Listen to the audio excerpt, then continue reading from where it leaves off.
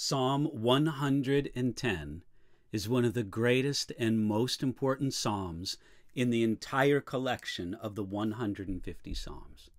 Now, I know that's a big statement, but let's talk about it piece by piece. First, if you take a look at the Psalm, you'll see that the Psalm carries the simple title, A Psalm of David.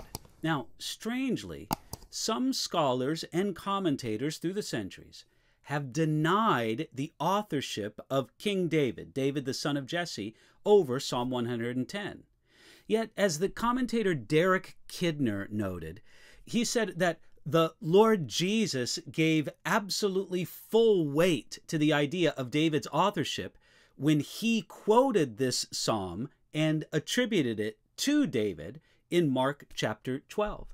So, really, we have both the double testimony of the psalm itself and the testimony of the Lord Jesus himself telling us that this is, in fact, a Psalm of David. Now, what makes Psalm 110 so special, so remarkable?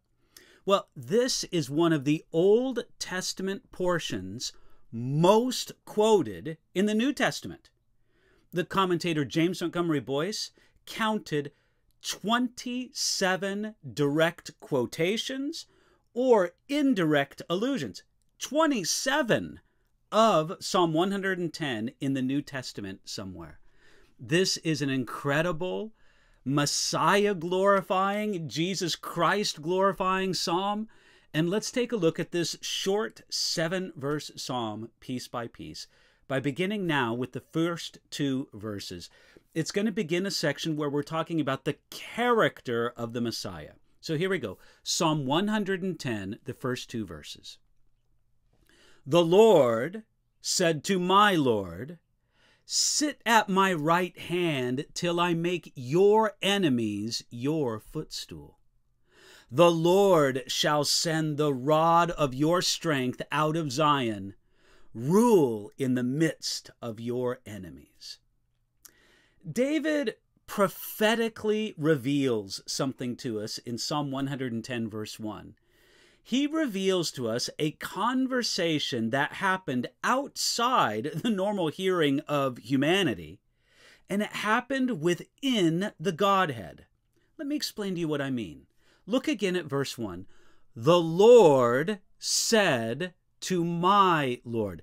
These are a prophetically revealed expression of the words of Yahweh. Now, that's the Lord, first mentioned in verse 1. In my Bible, and probably most of yours, Lord there is written in all capital letters, which means that it's representing the Hebrew name Yahweh. So, Yahweh spoke something to the Messiah, who here in verse 1 is referred to as David's Lord. Now, this is clear not only from the context right here in Psalm 110, but especially by how this verse is quoted in the New Testament. And before I talk about the significance of this, of Yahweh speaking to the Messiah, and that we have an insight into this conversation, it is absolutely amazing to think that through his prophets, and by the way, don't make any mistake, David was many things. He was the great psalmist of Israel, he was a great warrior, uh, he was a great king, but he was also a prophet.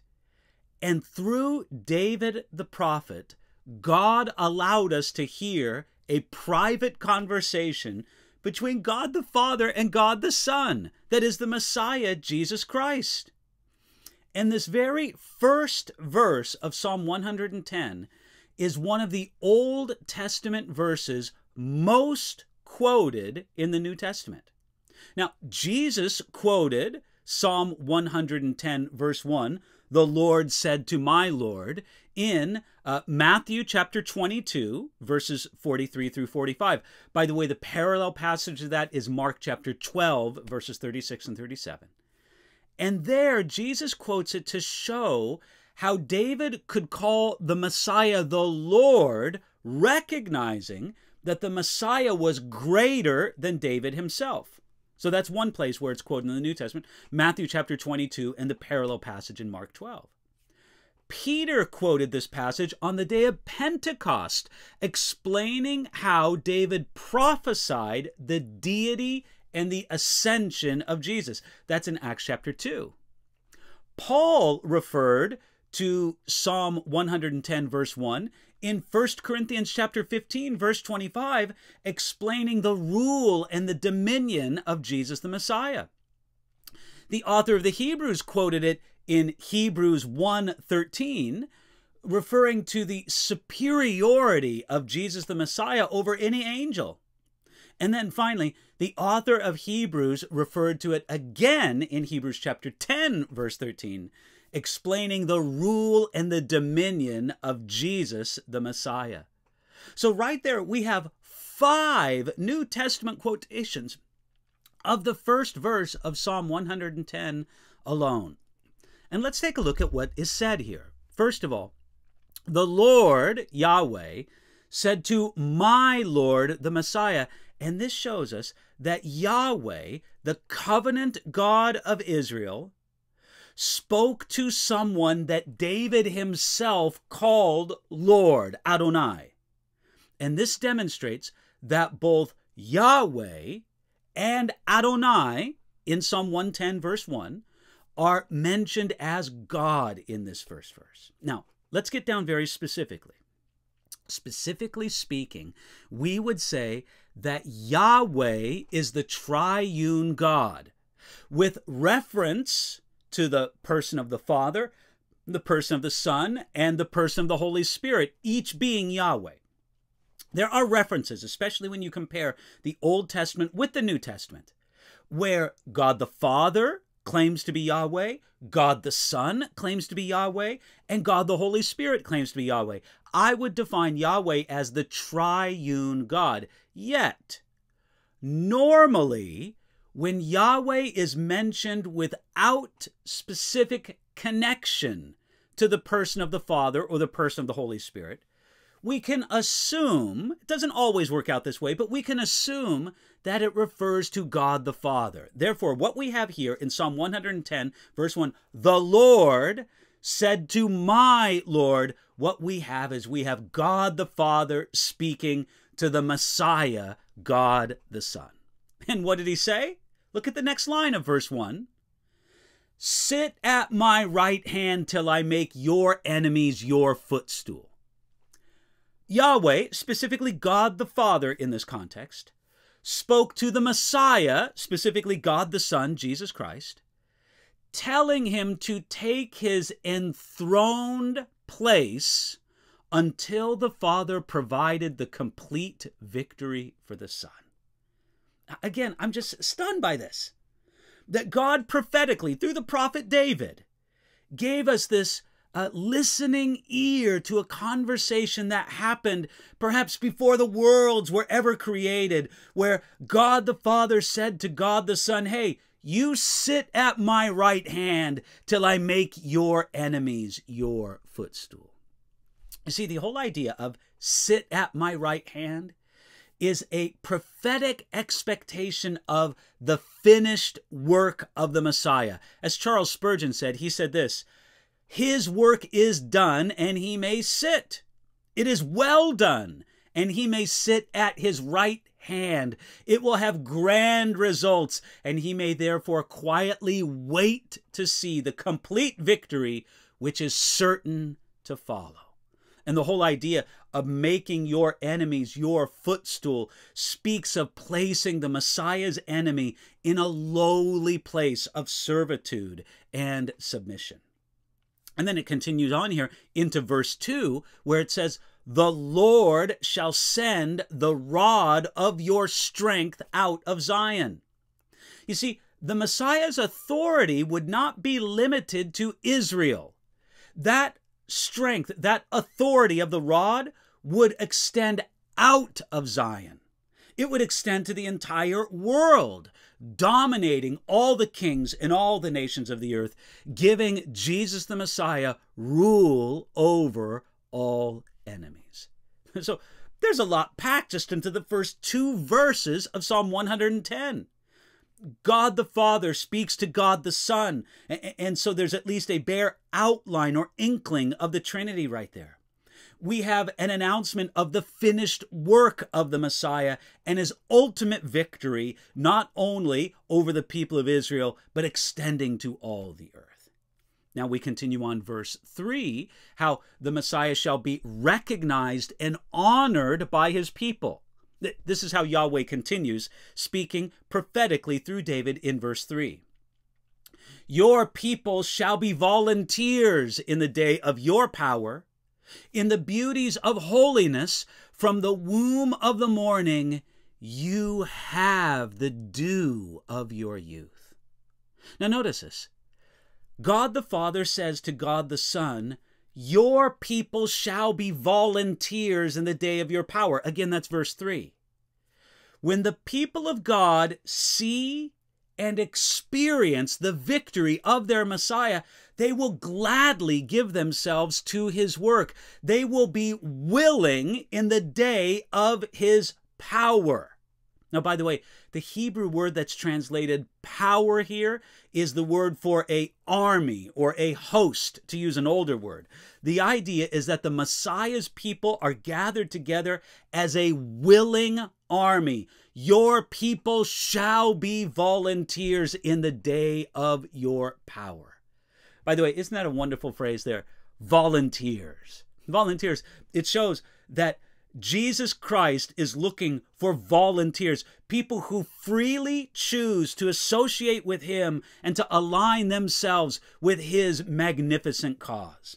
I like what James Montgomery Boice had to say about that idea of volunteers. He said, There are no mercenaries in this battle, no slaves pressed into the ranks of Jesus' soldier. This army is composed entirely of volunteers. Now, they continue on here, or I should say, God the Father continues on speaking to God the Son in verse 3, where he says, in the last line, you have the dew of your youth. The people of God are there are praising their victorious Messiah, and they are noted for their beautiful holiness. In other words, the Son of God is. The, the, the radiant being of the Messiah, the womb of the morning, and, and the ageless strength of the Messiah, the dew of his youth. And so here they are willingly joining their cause with that of the Messiah, and they are praising the Messiah for his surpassing beauty.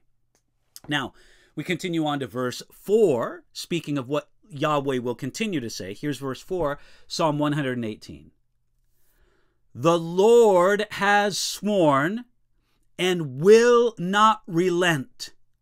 You are a priest forever, according to the order of Melchizedek. Now, notice, verse 4 begins with a very strong statement. The Lord, and again, you notice in your Bible, it's in all capital letters. That means Yahweh. Yahweh has sworn and will not relent. You know, this means that whatever follows in the rest of verse 4, it puts the statement in the most solemn and strong context possible. Yahweh, and again, here contextually, we would say specifically God the Father, made an oath that would never be annulled. He has sworn and he will not relent. You could say that God pledges his own name with every connotation of what the glorious name of God means. He says, I pledge my very name to this thing that I'm going to explain in the second half of verse 4. And what is the statement that God gives all this assurance that he swears an oath to? Look at here at the end of verse 4. You, now again, this is speaking to the Messiah, the Adonai mentioned in verse 1. You are a priest forever according to the order of Melchizedek. This is the oath of Yahweh, again, specifically God the Father, regarding the Messiah, God the Son. He vowed that the Messiah has an eternal priesthood, and that eternal priesthood of the Messiah would be after the pattern, after the order of Melchizedek. Now, we'll talk about Melchizedek in just a moment, but notice the first thing God the Father makes a solemn oath in the presence of all the universe to God the Son, saying, You are a priest forever. It's an eternal priesthood according to the order or pattern of Melchizedek. Now, this man Melchizedek, who is he? Historically speaking, in the Old Testament, Melchizedek is mentioned in a single account. It's really just a few verses in the Old Testament, Genesis chapter 14. And that Genesis chapter 14 account is brief, but it is densely packed with information about Melchizedek. You see, after Abraham defeated the confederation of kings who took his nephew Lot captive, Abraham met with a mysterious priest named Melchizedek, whose name means King of Righteousness. That's what the name Melchizedek means. And who was also king over the city of Salem.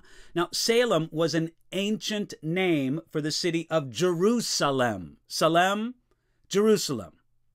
Now, since Salem means peace, Melchizedek was the king of righteousness. That's what his name means. He was the king of Jerusalem, and he was the king of peace because he was the king of Salem, peace. And Melchizedek was not merely a worshiper of the true God. That was true, but that's not all that was true. Melchizedek also had the honored title priest of the Most High God the greatness of God magnified the greatness of Melchizedek's priesthood. He was priest, but not of some imaginary lesser God. Melchizedek was the priest of the most high God. Then, continuing on in Genesis 14, we find out that Melchizedek blessed Abraham, and in blessing him, he demonstrated his greatness over Abraham the patriarch and then Abraham gave Melchizedek a tithe, 10%, a tenth part of all the spoils of battle and perhaps of everything he possessed. Again, that's mentioned in Genesis chapter 14. And then finally, in the record of Genesis 14, there is absolutely no mention of any father or mother of Melchizedek, and he appears in the biblical record without any genealogy whatsoever. Now, that's sort of the densely packed story of Melchizedek as we have it in Genesis chapter 14. So now, when David, speaking by the inspiration of the Holy Spirit, relays to us, prophetically speaking, this great declaration of God the Father towards God the Son, this declaration that says, You, Messiah, you are a priest forever, according to the order of Melchizedek. With that oath, God revealed that there is another order of priesthood apart from the priestly order of Aaron. Now, we, we just need to understand that for someone in the Old Testament, the priesthood expressed through Aaron, the brother of Moses, and all of his descendants, what we might call the Aaronic priesthood, because it was associated back with Aaron. It started with him, the brother of Moses. That priesthood was an extremely important institution in ancient Israel. It was through the sacrifices that the priesthood offered and all the ceremonies and rituals that they carried out that atonement, or at least the idea of atonement, was brought to ancient Israel. And Aaron and his priesthood provided that essential sacrificial system and the administration of it for ancient Israel. So the Israelite priests were all descended from Aaron, and they served in the tabernacle later on in the days of Solomon in the temple. They offered sacrifices and they conducted ceremonies according to God's law. But here, again, we're in Psalm 110, verse 4. here we see that God established another priestly order, this after the pattern of Melchizedek, by simply saying to God the Son, You are a priest forever according to the order of Melchizedek. Now, this oath that God the Father made to God the Son is so important that the author of Hebrews, if you turn on later on to, to the book of Hebrews in your New Testament, the author of Hebrews refers to this oath five times. Twice in Hebrews chapter 5, once in Hebrews chapter 6, and twice again in Hebrews chapter 7. Now, the two references in Hebrews chapter 5, verses 5 and 6 and verse 10, emphasize that this was Yahweh's declaration, that it was not something that the Messiah claimed for himself. That's very important in the mind of the New Testament. That Jesus did not say, Hey, I want to be a priest, let me be a priest. No, this was God the Father's declaration over God the Son. You are a priest forever, according to the order of Melchizedek. Then in Hebrews chapter 6, that's in verse 20, the emphasis there is on the idea that Jesus the Messiah serves now and forever as a living, active high priest for his people. Brothers and sisters, this is one of the most glorious things for us to ever remember that Jesus is our high priest. And again, you can imagine a Jewish person objecting to the idea that Jesus could be our high priest. They would say, He's not descended from Aaron. Instead, he comes from the tribe of Judah, from the lineage of King David, the author of this psalm. But here we find out that Jesus' priesthood is not according to the lineage of Aaron, but as powerfully and beautifully declared in Psalm 110, verse 4 You are a priest forever according to the order of Melchizedek. That's the emphasis in Hebrews chapter 6, verse 20. Then in Hebrews chapter 7, verse 17, there the emphasis is on the idea that the priesthood of Jesus the Messiah is according to the order of Melchizedek, and it is better than the priestly order of Aaron because it's eternal and it will never end. Again, notice those lines from verse 4 You are a priest forever according to the order of Melchizedek. Now, whatever you want to say about the Aaronic priesthood is even though there may be people today on the earth, I'm sure there are, who are descended from Aaron and who are genetically qualified to be priests according to the order of Aaron, there is no priesthood. There's no functioning priesthood. The priesthood of Melchizedek, perfected and expressed through Jesus Christ, has never ended and will never end. He is a priest forever. And then finally, in Hebrews chapter 7, verse 21, this emphasizes the idea that the priesthood of Jesus the Messiah, according to the order of Melchizedek, is better than the priestly order of Aaron because it's founded on a direct oath of Yahweh, unlike the priestly order of Aaron. So, in all of these ways, the priesthood of Jesus Christ according to the order of Melchizedek, is superior. It's better than the priesthood of Aaron. I like what the old Anglican commentator George Horne had to say about this.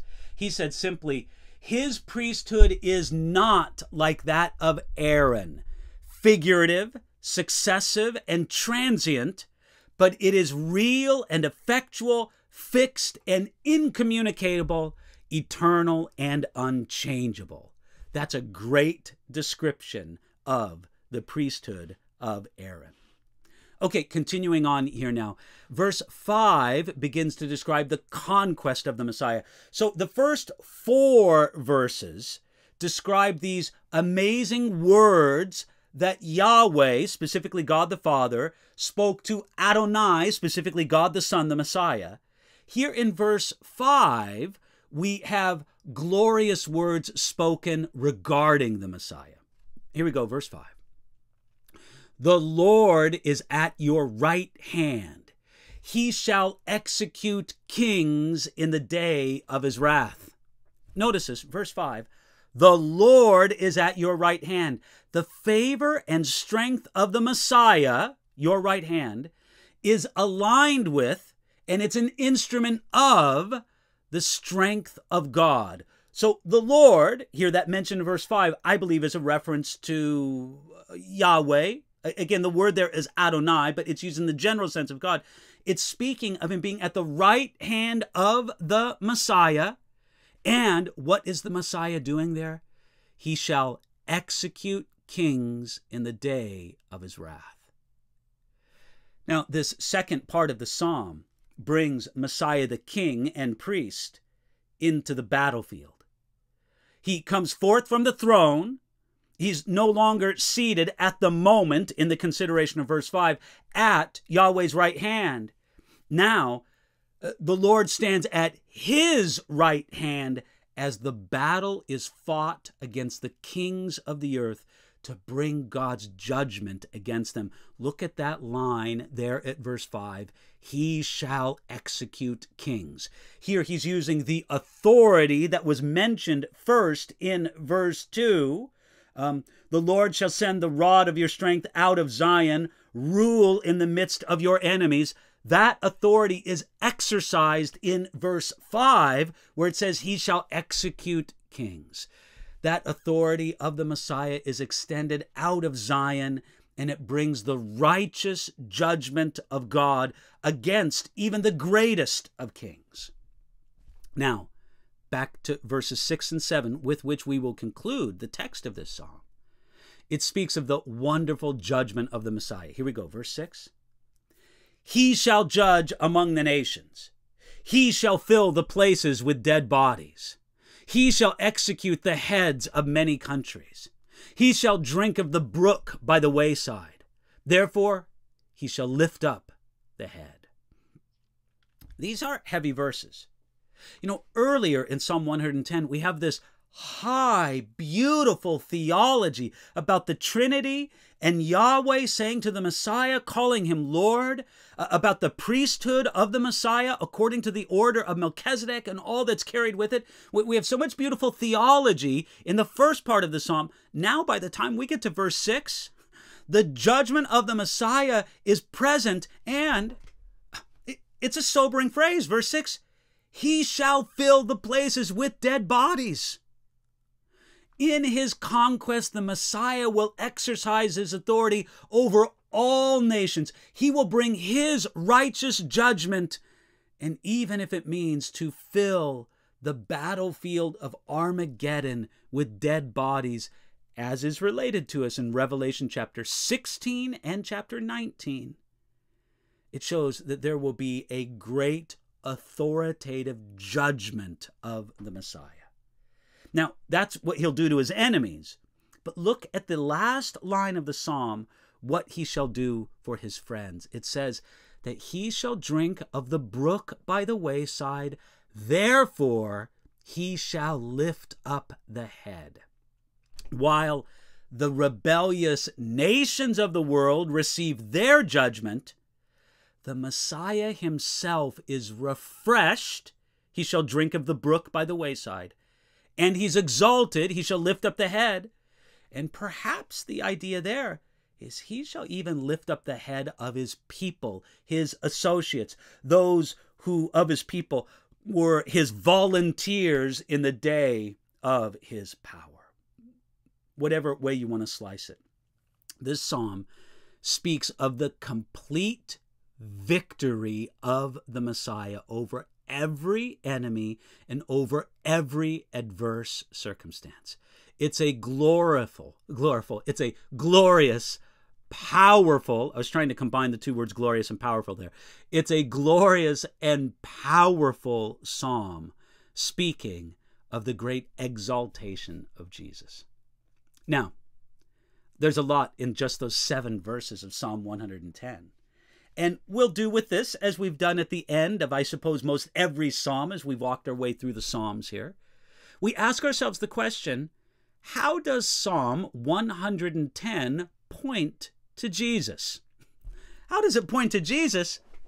Brother, sister, let me just say, how doesn't the psalm point to Jesus? Again, this is probably the Old Testament passage most quoted in the New Testament.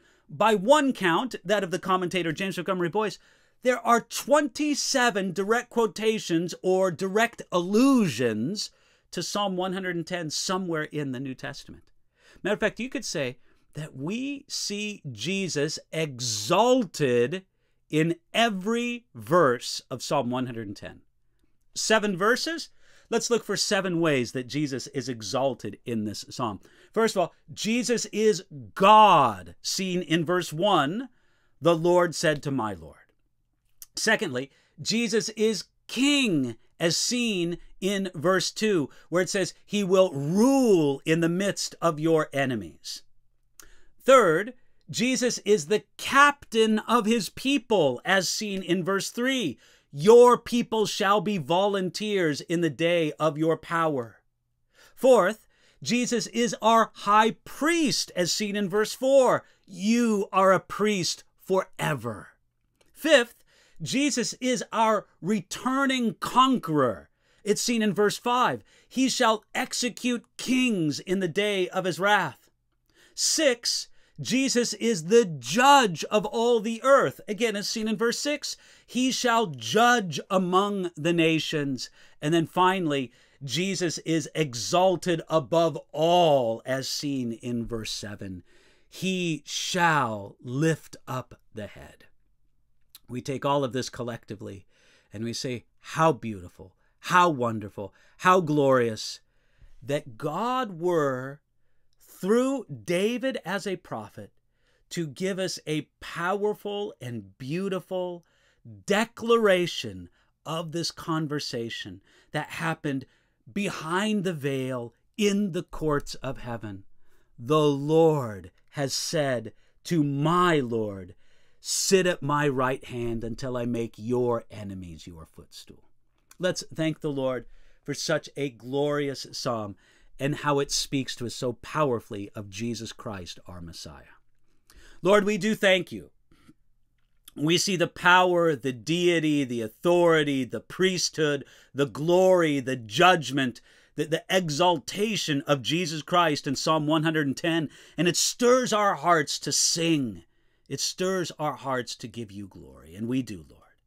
We give you glory for your unbelievably wise and amazing plan through which you are bringing out something beautiful, something powerful through your plan, through the work of Jesus, who is both God and Messiah. You are bringing forth this people to join his cause, to be his willing volunteers on the day of battle. Lord, I pray everyone who listens to this would take the spirit that's reflected to us in these verses, where it simply says, Your people shall be volunteers in the day of your power. Help us to respond to this exaltation of Jesus by saying, Lord, with all that we have in our being, we want to join our cause to His. We give you this with all glory and honor in the name of Jesus. Amen.